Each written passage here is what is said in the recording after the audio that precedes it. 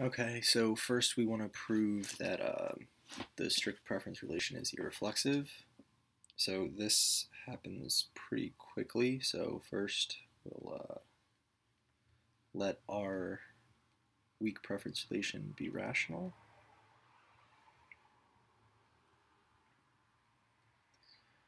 Then due to completeness, notice that for this y, in the definition, we don't have anything saying that this y can't be the same as this x.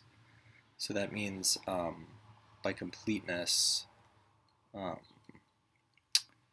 for all x in x, we have x is weakly preferred to x, or x is weakly preferred to x. I know this is a little weird, um, but I, maybe it's easier to see because you can see that all we've done is replace this y with x. So all that this says is basically that there does not exist um, an x such that x is weakly preferred to x and not x weakly preferred to x. So since this, if we remember, this right here is um, just showing that this this definition can never hold, meaning that uh, the strict preference cannot be reflexive. So what we just showed is that this is irreflexive. Now we want to show that uh, the strict preference relation is transitive. So.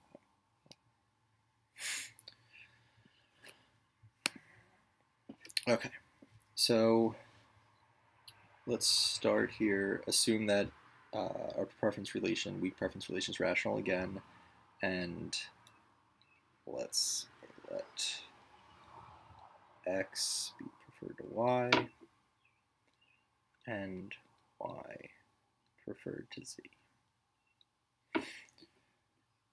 So we want to show that x is strictly preferred to z.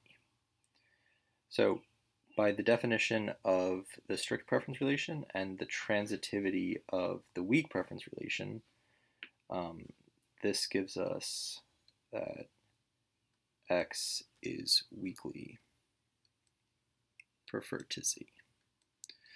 Um, we went through this sort of in the first problem we did, the, the first part of this problem.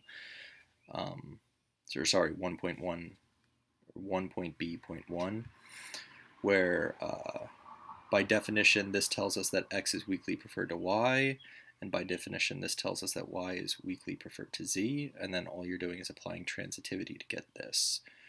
So we so we have the first half of this definition. We have that x is strictly or weakly preferred to z. So now we we want to show that not z weakly preferred to x. So we'll do contradiction again by way of contradiction. Assume this, we're maintaining this assumption that we have here. So by way of contradiction, assume this is true. And z is weakly preferred to x. Then x is weakly preferred to y. y is weakly preferred to z. And z is weakly preferred to x. So by transitivity, this gives us that y is weakly preferred to z, and z is weakly preferred to y. So this contradicts, this is a contradiction, uh, because we have the assumption that y is strictly preferred to z. we have this. So this can't be true because the definition of y being strictly preferred to z is this and not this.